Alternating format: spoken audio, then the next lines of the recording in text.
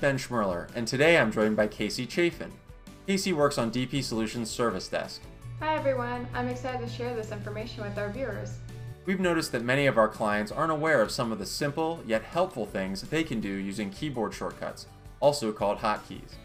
So today, Casey and I are going to walk you through some of the simple keyboard shortcuts that will help you be more effective. Cut, copy, and paste. This is one of the easiest and most useful shortcuts for people who do a lot of writing in Word, Outlook, or really any application with significant typing. To copy selected items to the clipboard, press Ctrl plus the letter C.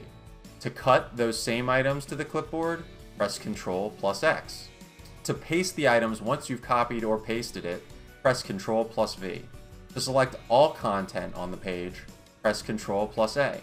And to highlight specific content, press the Shift key plus the arrow buttons on your keyboard. Now, Casey will demonstrate. First, highlight your text with your mouse.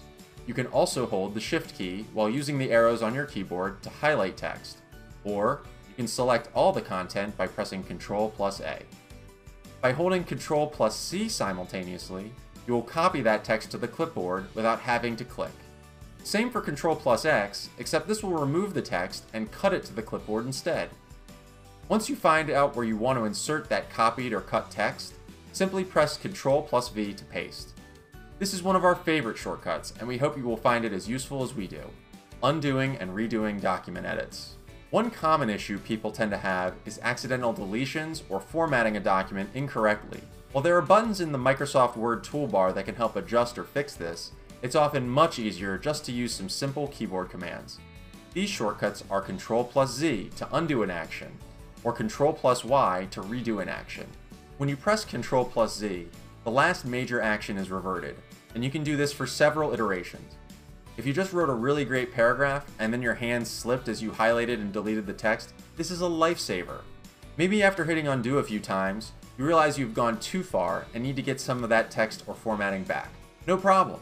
Simply press Ctrl plus Y and the previous undo action will be reverted back.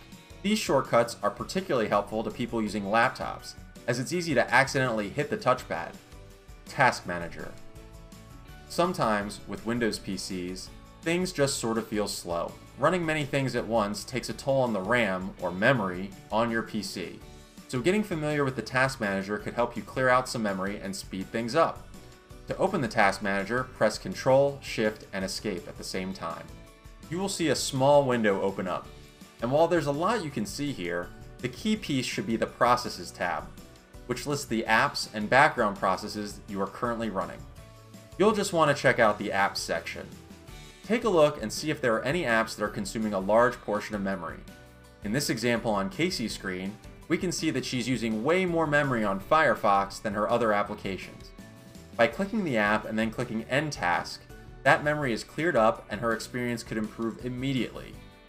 Of course, not all slowness issues are caused by this, but a good chunk of them are, so this is a good first step and a helpful thing for the average person to know how to do. Extending and duplicating screens. Many people are using multiple screens now. Sometimes, that means they directly hook up to two monitors to a desktop or laptop, or they broadcast their screen wirelessly for a presentation. Windows offers many options for this, but most people don't know that with a simple command they can make quick adjustments. By pressing Windows plus P in Windows 10, a small menu should pop up from the side. Most of the time, just by connecting the second monitor to your PC, you will probably be in extend mode, which means that you will have one big desktop spread out over two monitors. But you can also click or use the arrow keys to duplicate the screen so that both screens are identical or perhaps shut off one screen or the other if you find that you don't actually need both monitors at that time. This is just the tip of the iceberg when it comes to keyboard shortcuts. Check out the cheat sheet we've linked at the end of this video to help you learn more about more shortcuts that are available to you. What are your favorite keyboard shortcuts?